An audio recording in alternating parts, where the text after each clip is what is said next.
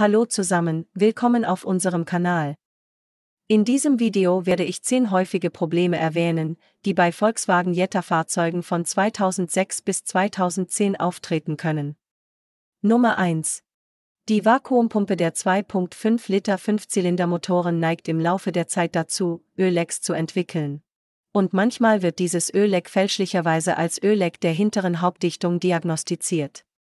Eine Möglichkeit, dieses Problem dauerhaft zu lösen, besteht darin, die Vakuumpumpe mit einem Löschkit zu eliminieren, das dem auf dem Bildschirm angezeigten Kit ähnelt.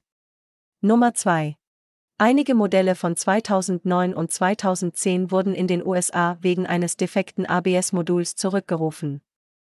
Dies führt dazu, dass die Kontrollleuchte für Apps und elektronische Stabilitätskontrolle auf der Instrumententafel aufleuchtet und das ABS-System nicht mehr funktioniert. Die Reparatur bestand aus dem Austausch des defekten ABS-Moduls und der Aktualisierung der ABS-Software. Nummer 3. Die Airbag-Leuchte in einigen dieser Fahrzeuge neigt dazu, die ganze Zeit anzubleiben. Das Problem wird normalerweise durch eine schlechte Verbindung innerhalb des elektrischen Steckverbinders des Insassensensors verursacht, der sich unter dem Beifahrersitz befindet. Nummer 4.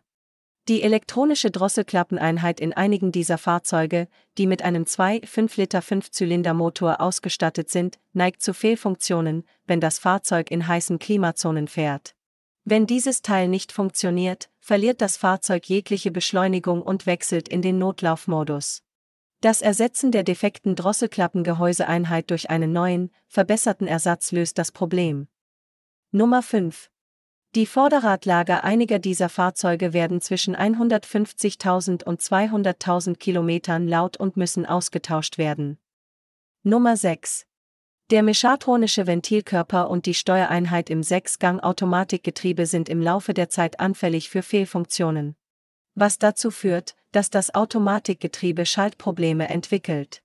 Aufgrund der Komplexität dieser Getriebe wird empfohlen, das Fahrzeug vor dem Austausch des Ventilkörpers oder der Steuereinheit von einer qualifizierten Getriebewerkstatt diagnostizieren zu lassen.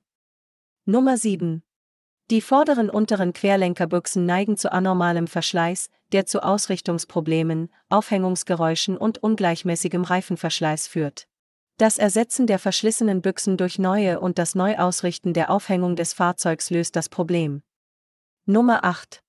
Die Infotainment- und Navigationseinheit in einigen 2010er Modellen ist anfällig für Fehlfunktionen und vorzeitigen Ausfall. Nummer 9. Der Stoff des Dachhimmels in einigen dieser Fahrzeuge neigt dazu, sich mit der Zeit von der Decke und den Seitensäulen zu lösen, was dem Innenraum des Fahrzeugs ein schlechtes Aussehen verleiht. Um dieses kosmetische Problem zu beheben, muss der alte Stoff vollständig entfernt und durch einen neuen Stoff mit dem richtigen Klebstoff ersetzt werden. Nummer 10. Die Ledersitze in einigen dieser Fahrzeuge neigen dazu, mit der Zeit zu reißen und zu reißen. Um dieses Problem zu beheben, muss der Sitz von einem qualifizierten Polsterer fachgerecht neu bezogen werden. Das sind zehn häufige Probleme, die bei Volkswagen Jetta-Fahrzeugen von 2006 bis 2010 auftreten können. Haben Sie einen schönen Tag.